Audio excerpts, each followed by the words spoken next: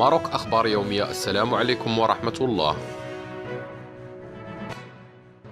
توجت المغربية هناء أشهبار البالغة من العمر 24 سنة بلقب أفضل طيار متخرج من الأكاديمية الهولندية لسنة 2018 بعد حصولها على المرتبة الأولى بمعدل 19.37 وولدت أشهبار وأصولها من منطقة الريف في هولندا عام 1994 وتابعت دراستها من بدايتها إلى نهايتها بالعاصمة الهولندية أمستردام حتى تخرجت من الأكاديمية الهولندية ربانا وأصبحت قادرة على قيادة جميع أنواع الطائرات بما فيها الحربية. ويشار أن هناء شهبار متزوجة من شاب مقيم بالديار الهولندية ويشتغل هو الآخر نفس توجهها ربانا للطائرات.